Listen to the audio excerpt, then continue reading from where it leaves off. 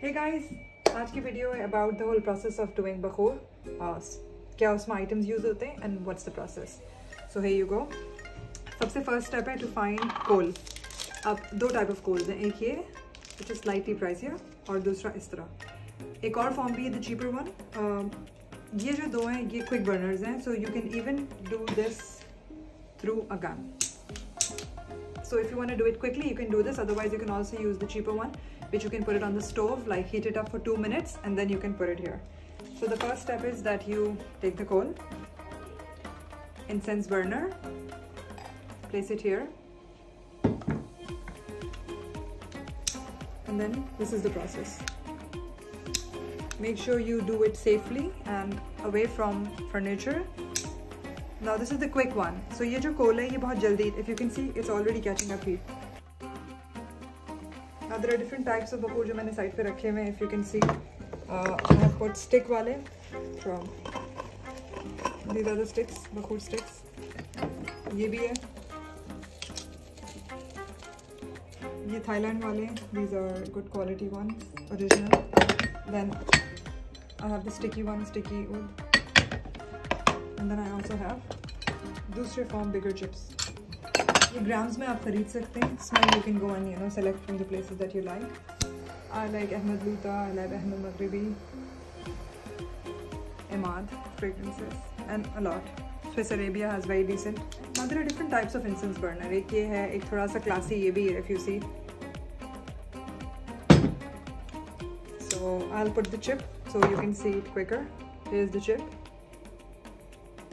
You place it on top. and you can see the magic. We'll put a little bit of uh, देखिए depend करता है how long you want to do अगर आपको quick करना है तो even this much is enough and like a small stick piece but if you want to do it for longer time and you want the smell to stay for long and बड़े area को cover करना है then this is not enough इसका double आप कर दें. here you go. देखें ऐसे. This is how you do this is how you place on it